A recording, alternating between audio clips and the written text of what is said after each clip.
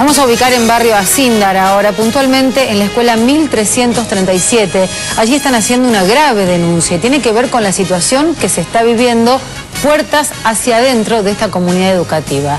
Están dando clases, en muchos casos, sin lugar donde sentarse para los más chicos. Vamos a ver. Hoy en día se está haciendo un horario reducido, eh, así que los chicos no cumplen jornada, completa eh, a raíz de la falta de bancos, que ya son más o menos entre 15 y 20 bancos por salones, más el salón que está vacío, eh, y se hace imposible porque la población de- de- del barrio se sigue sumando y es al lugar que caen eh, en esta escuela y la verdad que eh, hay falta de cargo, eh, problema de infraestructura. eh, no ¿Cuántos estamos- bancos en total le estarían faltando? más de 200. Si calculamos 20, 20 aulas cada 10, 15 bancos, así que calculamos menos 200, 250. Y están alternando los chicos según los cursos para ver dónde dan clases. Claro, por la mañana, como ser primero, segundo y tercero, viene de, 9, de 8 a 10 y el otro grupo de 10 a 12.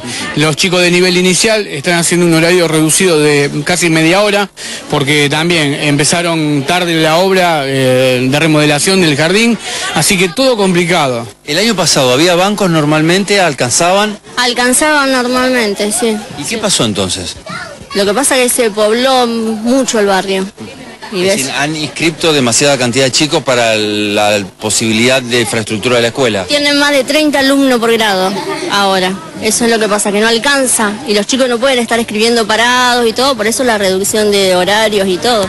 Y además eh, algunos inconvenientes en el patio, veíamos los, los yuyos crecidos. Sí, los suyos también, es impresionante. Eh, hoy inmediatamente no se puede, los chicos no tienen, vienen en horario reducido, no tienen recreo, porque si quisieran tener recreo no tienen el patio eh, acondicionado para que puedan eh, desarrollar de actividades ni, ni juegos. ¿Hay alguna respuesta, alguna promesa por parte de las autoridades? Y, viste, de- desde la escuela se, se se está reclamando, eh, las respuestas son lentas, porque ya te digo, la construcción, la remodelación del jardín ya hace años que se viene pidiendo y la hicieron recién hace dos semanas, ya ha comenzado, casi comenzado las clases, entonces hay respuestas pero son muy lentas. Eh, ¿Cuántas horas por día están dando clases?